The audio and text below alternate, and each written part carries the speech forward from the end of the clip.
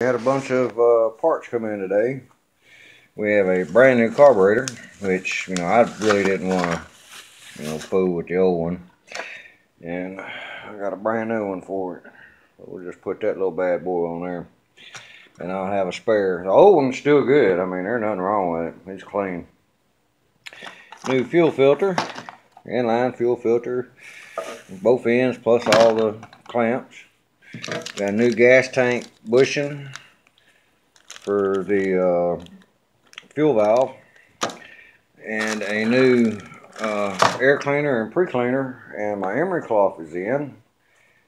Tomorrow we should be getting... Uh, we should get the gasket kit, the whole gasket kit for the motor, along with uh, valve stems for tires, um, the spindles.